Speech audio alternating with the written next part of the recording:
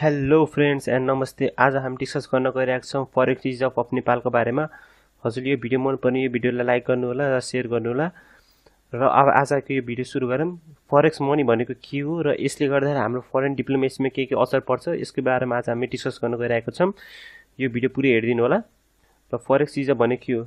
Nepal foreign exchange मैले देख्न सक्नुहुन्छ Nepal foreign exchange reserve was measure at eight point nine US dollar भनेपछि eight point nine U अमेरिकी dollar छ billion nine billion dollar in May twenty twenty compare with eight point two billion dollar in previous month भनेपछि हाम्रो पहिलाको एक महिना अगाडि भन्दा अहिले हाम्रो जिरो पोइन्ट सिक्स ड zero point six billion dollar बढेको छ। र यसको रिजन पनि म बताउनु गइरहेको छु। Nepal foreign exchange reserve USD data is updated monthly available from June two thousand twenty two May two thousand twenty The data reached an all-time high of 9.2 USD dollar in January 2018 and recorded low of 985 million dollar.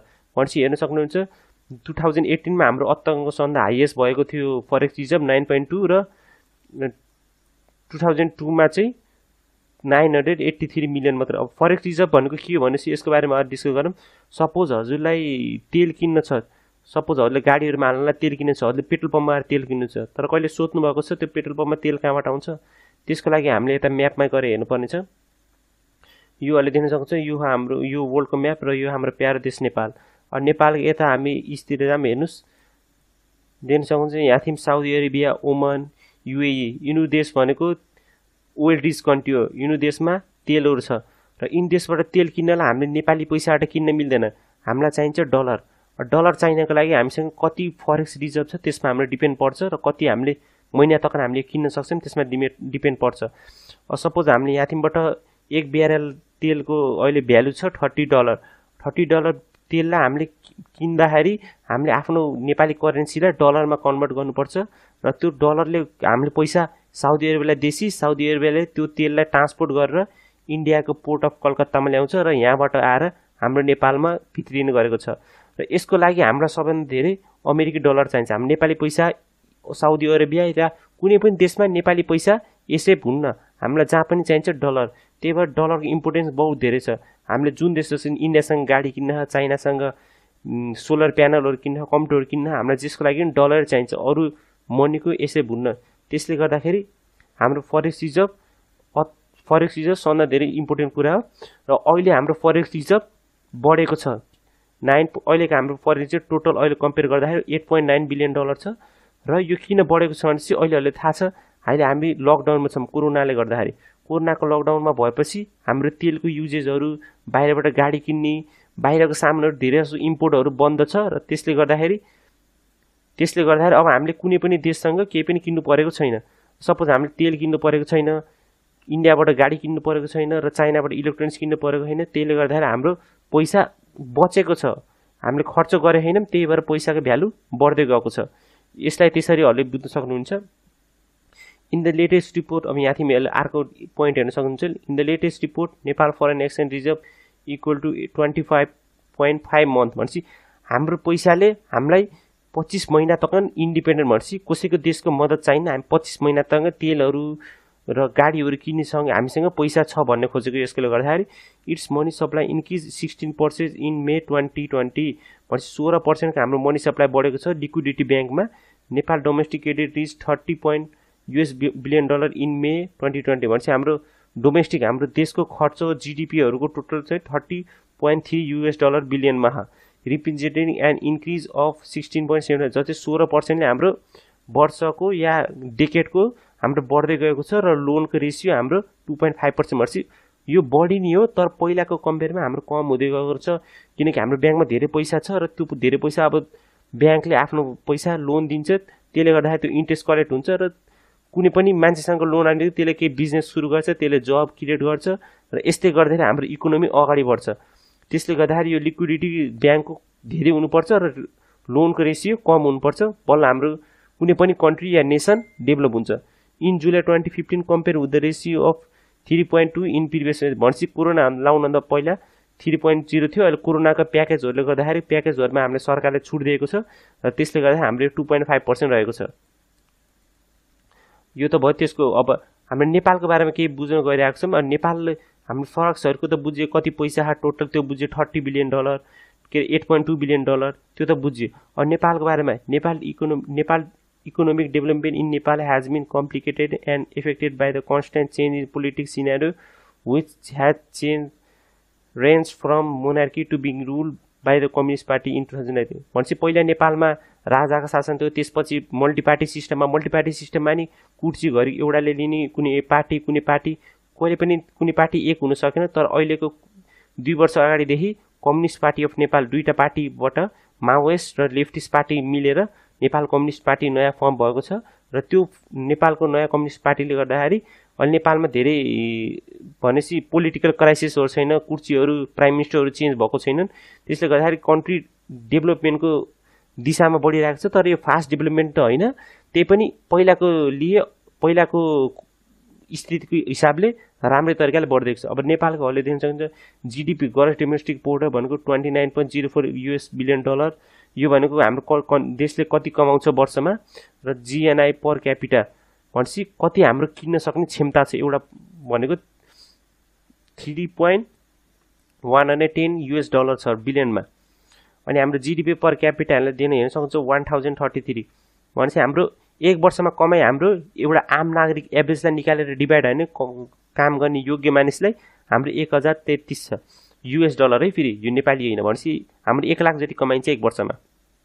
GDP कुरो चाहिँ six point seven छ क्यारे तर अहिले कोरोनाले गर्दाखेरि अहिले four कि थ्रीको prediction गरिएको छ।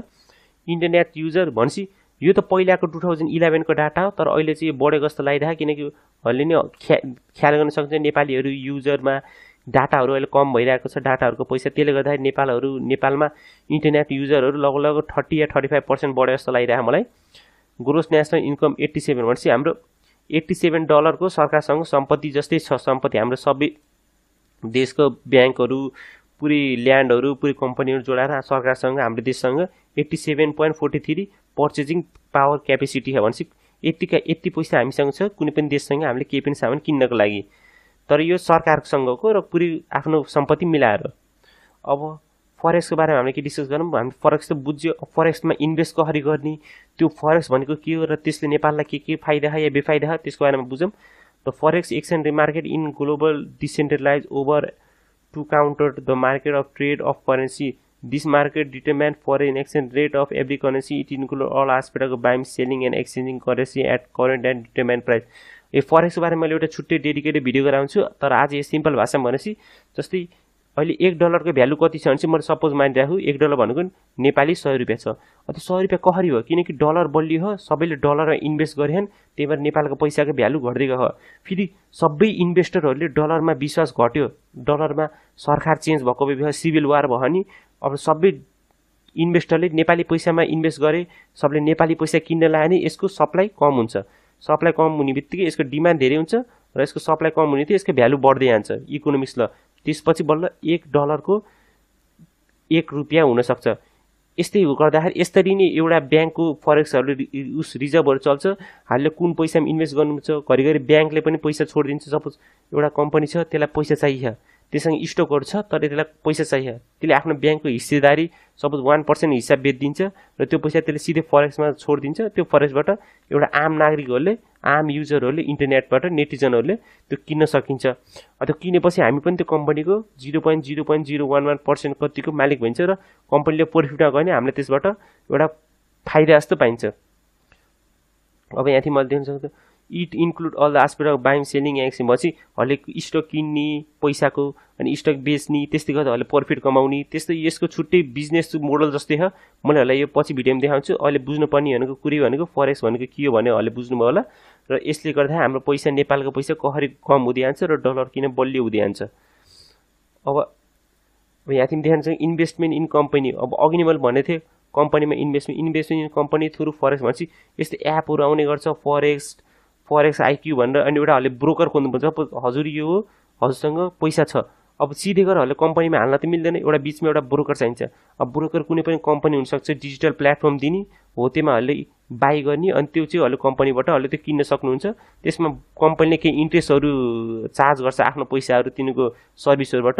अनि त्यस्तै तरिकाले कम्पनीले पनि कमाउँछ। हजुरले फेरि कम्पनी प्रोफिट भनेहरूले त्यसबाट कमाउँछ। अनि कम्पनीले आफ्नो कामदारहरूलाई पैसा दिनको लागि तिनीसँग लिक्विडिटी पनि हुन्छ। यस्तै गर्दाखेरि बल्ल इकोनोमी डेभलपमेन्ट हुन्छ।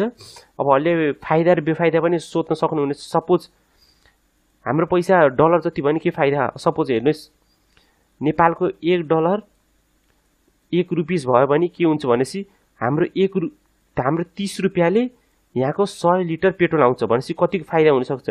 त्यही भएर एक डलर एक रुपियाँ यो इम्पोसिबल हो। तर हामीले सपोज मान्ने भने एक डलर त हाम्रो एक रुपियाँ पुग्यो भने हामीलाई जे पनि जे पनि किन्दाखेरि जे पनि किन्दा सस्तो पर्नेछ। सपोज इन्डियाबाट गाडी किन्न छ नि सपोज पहिला हाम्रो एक डलरको सय रुपियाँ हुन्थ्यो नि हामीले एक डलर सपोज यहाँ गाडी फेरि दस डलरको थियो भनेपछि हामीले दसको सय गर्दा हजार रुपियाँ तिर्नु पर्थ्यो। अब एक डलर एक रुपियाँ एक डलर एक रुपियाँ एउटै छ भनेहरूले सिर्फ दस रुपियाँ मात्रै तिर्नुपर्छ अहिले एउटा गाडी किन्न।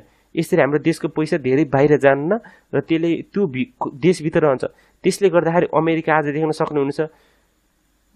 विश्वको सबभन्दा ठुलो देश विश्वको सबभन्दा शक्तिशाली देश अमेरिका। किनकि यसको पैसाहरू धेरै बाहिर जाँदै जान्न।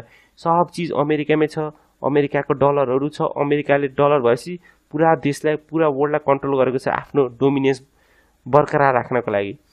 अब त्यो चाहिँ हाम्रो त्यो चाहिँ छुट्टै टपिक हो किनकि त्यो हुन सक्दैन किनकि हाम्रो कन्ट्रीको ल्यान्ड पावर मिलिट्री पावर त धेरै छैन त्यो हुन्न। तर हाम्रो चाहिँ त्यो पैसाको डिभ्यालुएसन पैसा कम हुने हाम्रो पैसाको लो भइदिएको देखा त्यसलाई चाहिँ हामीले कन्ट्रोल गर्न सकिन्छ त्यो मात्रै मैले टिप भन्नु खोजेको। होस् त आज यति नै। अब हजुरलाई यो भिडियो मन पऱ्यो भने यो च्यानललाई सब्सक्राइब गर्नु होला हामी यस्तै भिडियोहरू ल्याइराख्नेछौँ। र यो च्यानललाई सब्सक्राइब गर्न सेयर गर्नु होला हस् त धन्यवाद। जय नेपाल। Good bye.